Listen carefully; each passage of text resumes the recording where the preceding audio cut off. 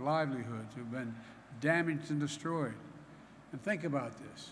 All that area they got to plow up, they can't do it now because they don't know how many bodies are there. They don't know what's left. Imagine being a mom or dad, wondering where your child is. Imagine being a husband or wife, a mother or father. It's really tough stuff. Almost 500 federal personnel have been deployed to Maui to help communities and survivors get back on their feet. FEMA, search and rescue teams are sifting through the ashes in that five mile area that you've seen on television that's been burned. It's painstaking work. It takes time. And it's nerve wracking. Most of the debris can't be removed until it's done.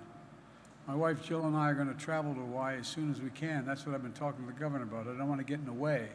I've been to too many disaster areas, but I want to go, make sure we got everything they need. Want to be sure we don't disrupt the ongoing recovery efforts. FEMA Administrator Criswell, who's the best we ever had, I think, was on the ground this weekend. I just talked to her. She's back in the States. I have directed her to uh, streamline the process as quickly as possible.